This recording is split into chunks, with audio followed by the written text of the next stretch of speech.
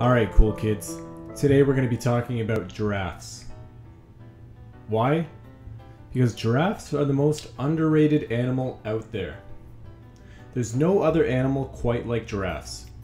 Except for my buddy Curtis, who uh, looks very similar for some reason. Now, these giraffes are quite unique because not only are they very long neck boys, but they also have tiny horns on their head and their thick skulls. This is used to crush anyone who stands in their path. Very cool. Now, giraffes didn't always have long necks. For millions of years, these mystical creatures had long legs and short necks.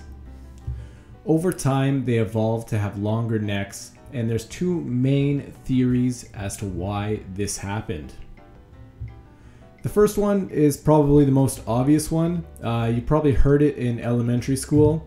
Uh, giraffes have long necks so they can eat the leaves off the high trees. Right? They have the height advantage, so they eat the higher leaves, so they always have a food source. Always being able to have food is an interesting idea.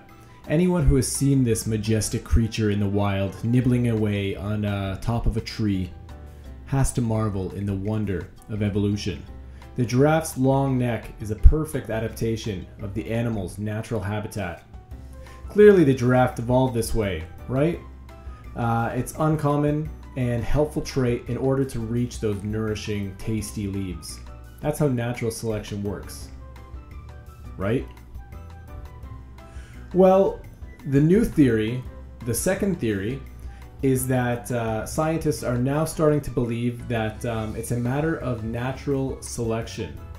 The giraffes fight by beating each other upside the head with their necks. This is called necking. You know that thing you never got to do in high school? It's the same word. Male giraffes whip their neck around and use their heavy skulls and horns to attack unsuspecting giraffes. The longer and thicker the neck, the more likely the giraffe is to win a fight. Giraffes that are successful in fights are more likely to mate and produce offspring. So, yes, in the giraffe world, bigger is always better, actually. Very cool, very cool, very cool. Uh, it seems to be a combination of two theories that would really explain why giraffes have such long necks food, uh, mating, and survival. So, with these combinations of two theories, we now have a full understanding of why giraffes have such a long neck. Are you interested in low budget videos about animals, YouTubers, and whatever I feel like talking about? Well, I have a trade offer here for you.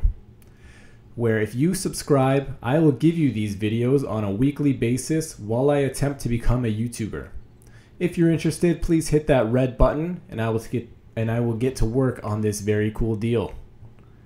The next video will be about the presidential pets. And before I go, please check out my uh, company. It's called Sock Bear. I sell socks online and I donate a portion to uh, endangered animals. Uh, companies like WWF get this uh, $1 from every single sale.